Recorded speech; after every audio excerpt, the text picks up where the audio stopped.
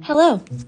So my students and I worked together to make a book. This is like the book that's going to be published, and we had to make a dedication page. So I opened it up to a vote. A few of them voted to dedicate it to our student teacher, which loved that idea. But the other half, they wanted it to be dedicated to Ryan Reynolds. Which don't get me wrong, I love me some Ryan Reynolds. But like why?